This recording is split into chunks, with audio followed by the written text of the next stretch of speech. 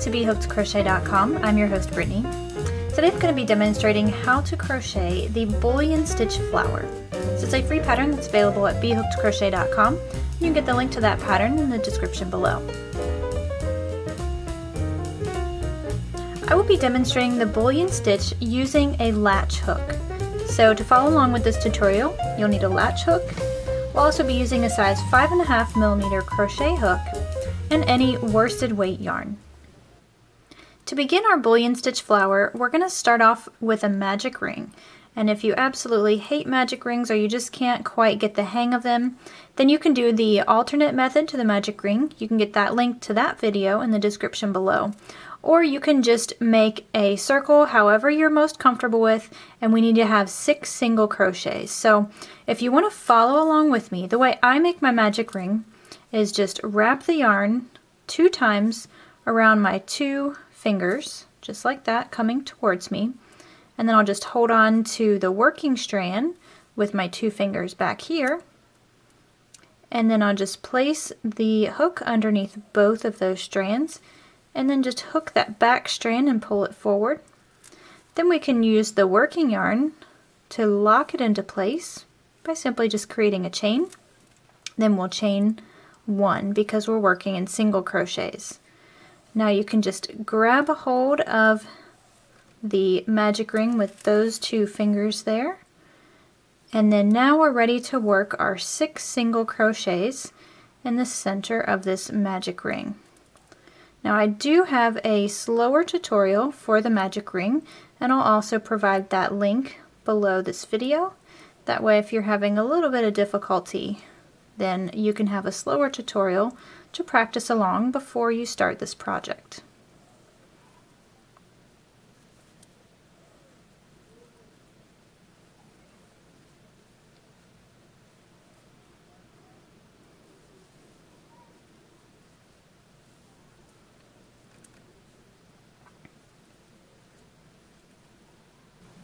Okay, so once you have your six single crochets, if you're working the magic ring, just close it up. And what we want to do is join with a slip stitch to the first single crochet that we made.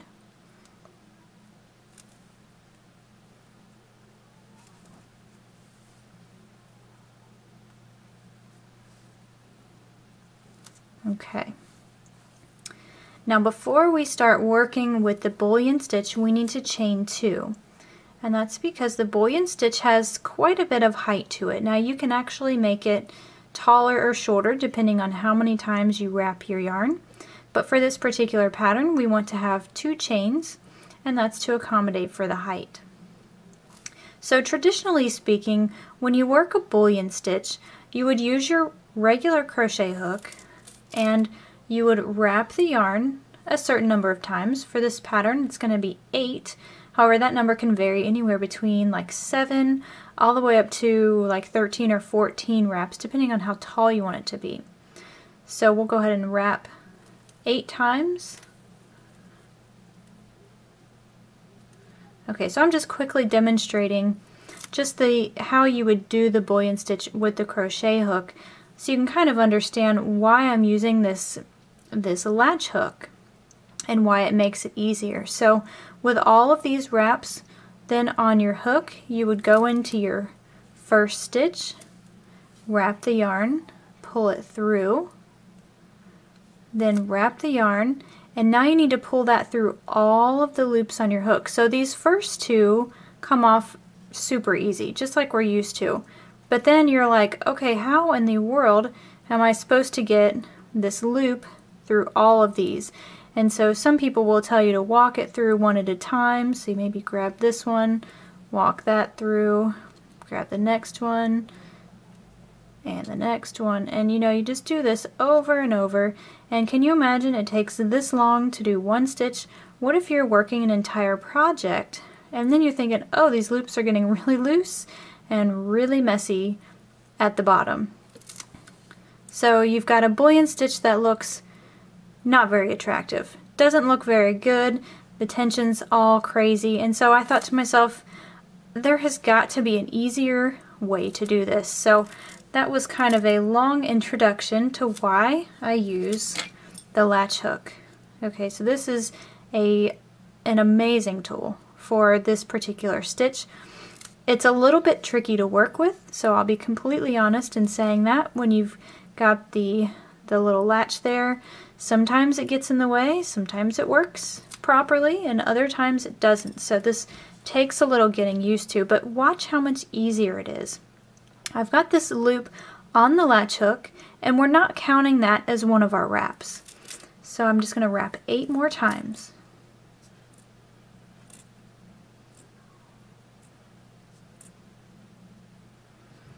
Okay, and I've made sure that my, when I was wrapping, I was doing so pretty loose. I want this to be able to flow pretty freely up and down the latch hook. Okay, so looking at our magic ring here, our little circle that we have, we don't want to work our first stitches into the same stitch where we slip stitched. Okay, so we're going to skip that one. We're going to work into this one. Now sometimes you can get the latch hook to go through the stitch when it's closed. Other times it likes to open. So you just want to insert that into the stitch, then grab the working yarn and then pull that through the stitch. Okay, and now pull everything down. We want to open up that latch again, drop that loop that was in there, then grab the working yarn again and pull it through. Now I like to pull through those first two stitches with the latch hook facing down and then I like to turn it up at this point. And then you want to make sure you have your working yarn really loose through your hand okay? Because as you're pulling the latch hook back out you're actually pulling the working yarn. So that'll hurt you in the long run if you're not careful that you're just letting that flow through your fingers. Then I just simply help walk the stitches down, make sure the latch hook stays closed, and then we're just going to finish it off with a chain. So I'll push that loop back up, grab the working yarn, and pull it through. Now wasn't that so much easier than trying to do it with the crochet hook and it looks much better. Even with the latch hook, this stitch takes some practice, especially working with a tool like this that we're not used to. But it looks so much better. And I'm going to put this down for just a second to demonstrate. I've got two of the same flower. One that I worked with the latch hook, and this one I worked using the crochet hook. Now, one might argue that it looks pretty cool because, you know, as I said, the, the loops at the top end up being much looser, so it, it kind of does look pretty cool as a flower but it's so much neater when you use the latch hook. So this is completely up to you. You can use either method, but I am going to continue using the latch hook for this demonstration.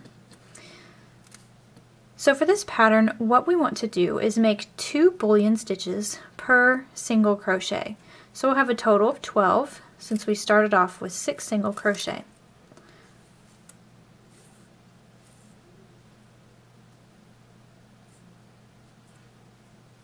Okay, once we've wrapped, we're going to go into the same stitch.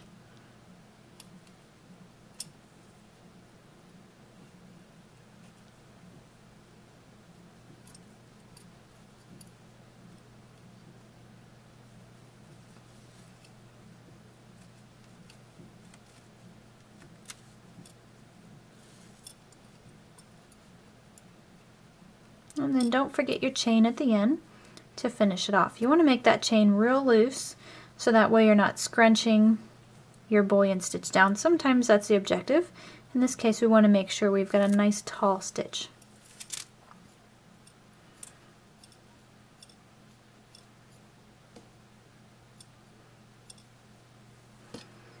Now we're going to go into the next stitch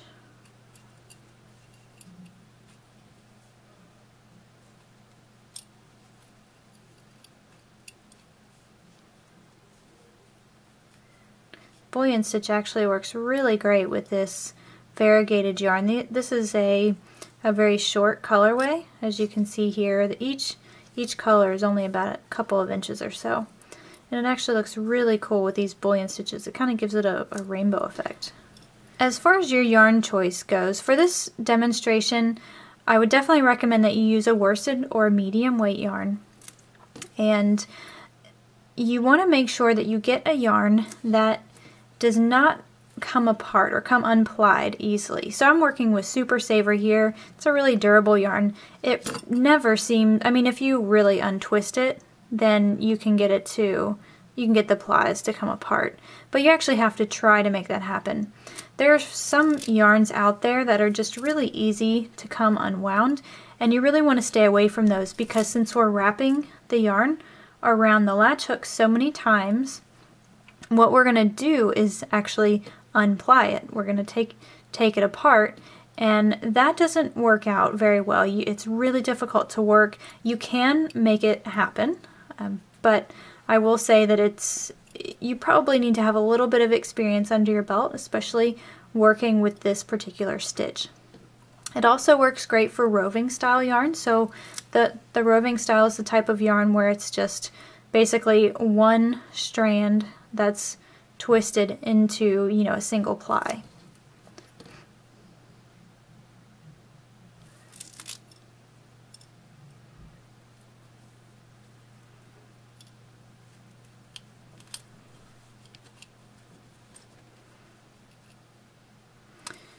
Now one thing you do want to watch, so you just saw how easy that was for me to just, for the latch hook to close in the wrong spot. So that's one thing you want to keep an eye on.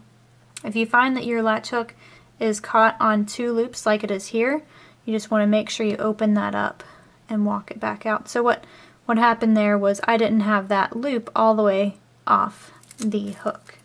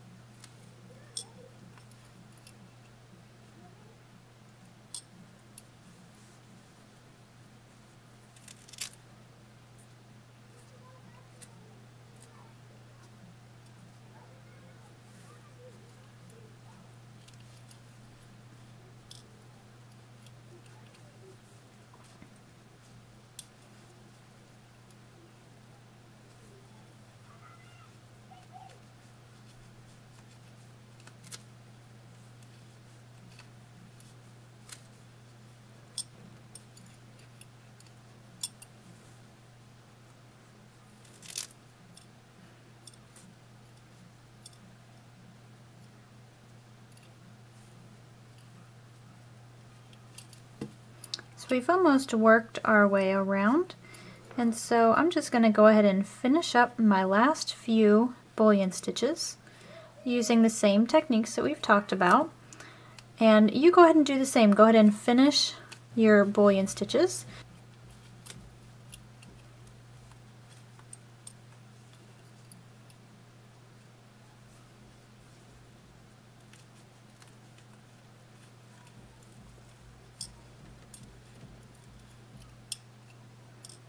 Okay, so once you have finished your last bullion stitch, again you just need to count, make sure that you have 12.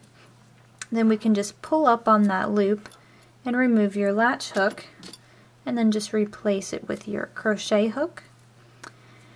And we need to join with the slip stitch in order to close it off and to finish up. And so I like to slip stitch to the very first bullion stitch because I want to cover up this chain because it's not really a part of the design, but rather it's just something that was required in order to make that first petal of this flower be straight. So I'm just going to insert my hook into that very first stitch and then just slip stitch that closed. Okay, and so you can still see the chain a little bit, but for the most part it stays pretty well hidden behind those bullion stitches. So from here we can just go ahead and bind off. So just trim yourself a small tail I just pull that tail through the loop on my hook.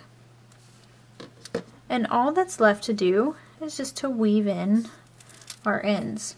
Now if you're sewing this to a project, you may actually want to keep one or both of the ends and that way you can just use them to directly sew them onto the hat or whatever it is that you're working on. But just for demonstrational purposes, I'll just show you how I weave these in. It's a little bit different with bullion stitches because as you know they're they're kind of strange. They're not something that we normally work with and so weaving in the end kind of seems like it's a bit of a challenge. So what I'm doing is just working that first tail that we had from the beginning just under the first round of single crochets. Now the real question comes with this second one. Where on earth are we supposed to weave this in?